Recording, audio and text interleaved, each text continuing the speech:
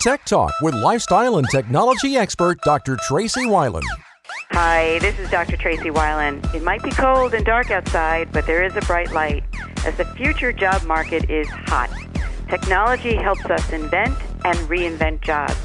Next week, I'll take a look at five future jobs that might make sense for you in the digital world. See you then. Wednesdays at 645. Part of the Michael Dukes Show here on KBYR.